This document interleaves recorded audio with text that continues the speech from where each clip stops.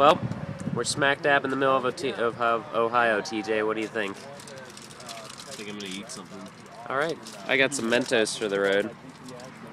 Called uh the fruit fruity fruit maker fruit sucker fruit sucker. I'm taking over now. Derek's going to Whiz. We're halfway through Ohio, and uh, we made some friends last night. It was good. White Buffalo women check woman White Buffalo women check them out. Very cool group. Lots of awesome people. Um, ah, you don't want to hear me. We're getting back on the road now. Words can't explain. But here, give you a quick tour of the Goldfinger. Goldfinger! Check out this class act. Jammed everything in here. See ya in a couple Show you the back. How much we've jammed. Maybe. Is this gonna open? Here it comes. Up, maybe not. Maybe, maybe. Come on. What is this? Amateur hour. There it goes. All right.